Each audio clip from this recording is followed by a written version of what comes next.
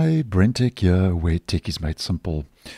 So, if you are a Linux user, which I know quite a lot of you are who view this channel, then you will be no stranger to the sudo command line utility.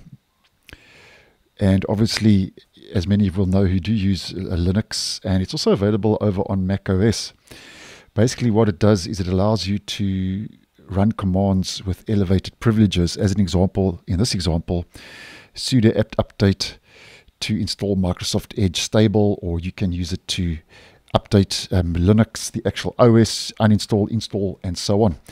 So that's basically what sudo give or take is all about. Now, it seems that um, Microsoft is working on native support for the sudo command line to roll out as a native um, command in actual Windows.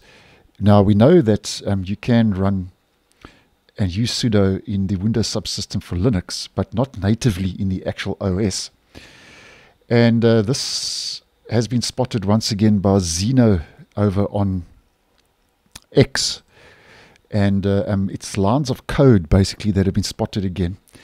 Um, so it's a hidden feature. And if we just head over to that code, this is the code that was spotted it suggests that Microsoft basically is um, obviously internally testing and in the early stages of um, rolling out sudo to Windows natively.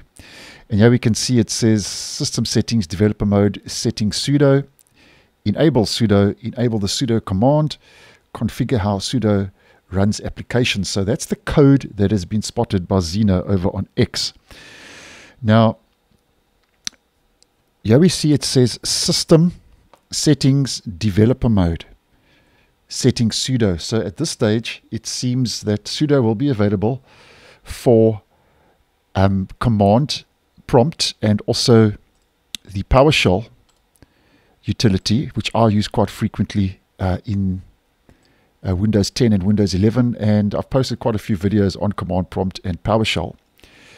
And this will be available as a native command sudo if you have developer mode turned on.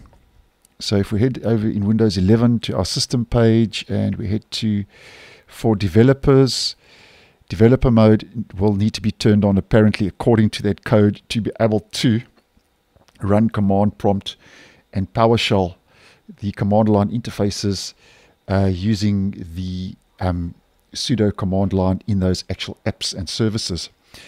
So interesting enough, and a little bit more of Linux is on the way.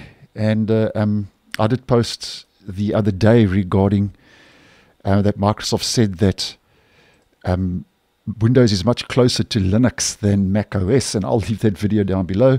So this may just be another indication that Microsoft is wanting to integrate um, aspects of Linux a little bit more into Windows, as they did say that it is much closer to Linux than Mac OS.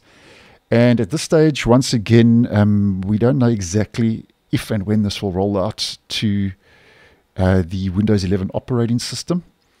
Um, it's still very early days because obviously this code is um, basically hidden. So it's still basically a hidden feature and um, very early days, but nonetheless, it does indicate though that there is a good chance that this is something Microsoft may bring to the Windows 11 um, operating system, being able to um, carry support for the sudo command line using command prompt and PowerShell as an example. So thanks for watching and I'll see you in the next one.